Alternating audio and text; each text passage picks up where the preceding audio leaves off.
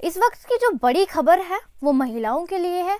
तो सबसे पहले ये जो वीडियोस है वीडियो है वो 18 साल से ज़्यादा जो महिलाएँ हैं, उनको शेयर कीजिए, क्योंकि अब से जो है 18 प्लस जितनी भी महिलाएँ हैं, उन्हें जो है पर मंथ एक हज़ार मिलेगा सरकार की तरफ़ से। जी हाँ आप बिल्कुल सही सुन रहे हैं। अब इसमें क्या पूरी जानकारी है इसकी? क्या क्या चीज़ें इस पर लगेगी? ज़रूर आपसे साझा करेंगे।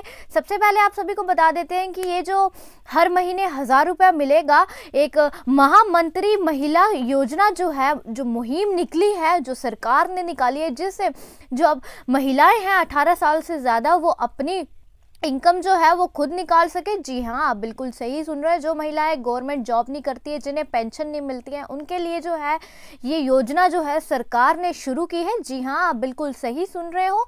तो इसके लिए आपको सबसे पहले हम बता देते हैं कि क्या करना पड़ेगा।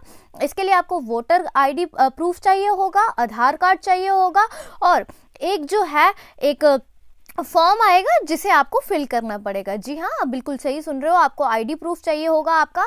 बेशक वो वोटर वोटर कार्ड हो या फिर वो आधार कार्ड हो, ये दोनों चीज़ें जो हैं होना ज़रूरी है। उसके बाद ही आपका जो फॉर्म है वो फिल होगा और ये जो योजना शुरू होगी ये भी आपको सरकार जल्दी बता देगी कि ये कब शुरू होनी है और कब नहीं होनी है। फ़िलहाल सरकार ने जो ये कदम उठाया है 18 साल की ज़्यादा उम्र की जो महिलाएँ हैं, जो अपने घर का खर्चा जो है वो खुद निकाल सके, बेशक वो हज़ार रुपया हर महीने जो है पर मंथ महिलाओं के अकाउंट में जो है वो चला जाएगा। इसके लिए आपको आपका वोटर कार्ड चाहिए होगा आधार कार्ड चाहिए होगा और आपकी बैंक अकाउंट बैंक अकाउंट की जो कॉपी है, वो चाहिए होगी। वरना इसके बिना जो है, ये योजना जो आप इस्तेमाल करना चाहते हैं, वो आप नहीं कर पाएँगे। आपको ये तीन चीज़ें चाहिए होंगी। उसके बाद आपके खाते पे जो है, हर महीने सरकार जो है, एक हज़ार रुपया डालेगी। जो वुमेन्स जो हैं, जो गवर्नमेंट जॉब्स नहीं करती है, जिन्हें पेंशन नहीं मिलती है, उन्हें जो है आपसे हज़ार रुपया हर महीने मिला जाएगा।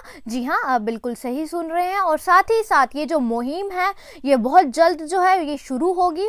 और सरकार ने जो है कहा है कि 18 साल से ज़्यादा उम्र की जो महिलाएँ हैं, ये उनके लिए ही है, जो जिनके पास वोटर आईडी कार्ड होगा। एक बार मैं फिर आपको बता देती हूँ, जिनके पास वोटर आईडी कार्ड होगा और आधार कार्ड होगा और उन्हें बैंक जो है खाता ज़रूरी होगा, जिसमें उनका जो हर महीने का हज़ार रुपया है, वो आपके अकाउंट में आ सके।